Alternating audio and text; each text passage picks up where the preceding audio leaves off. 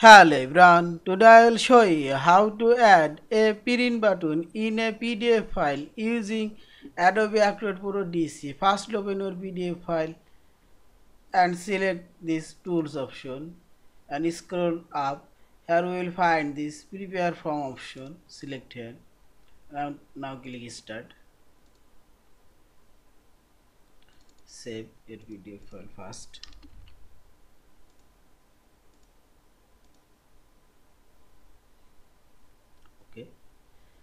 Now here we will find this ok button. Click here.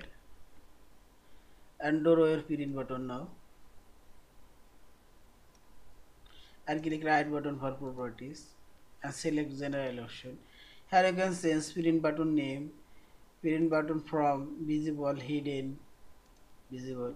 And now click appearance option. Here you can change border color line thickness and field color choose no and font size I'll choose auto also you can change text color below and this text font style. And now click this option. And type here print button name.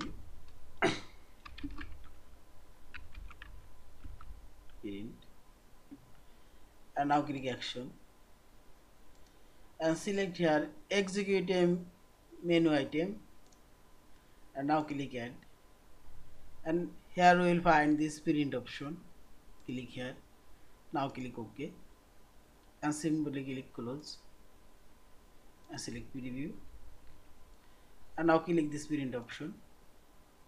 Yeah. This print option already showing.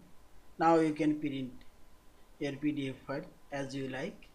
Yeah Thank you for watching. Please subscribe, like, share and comments.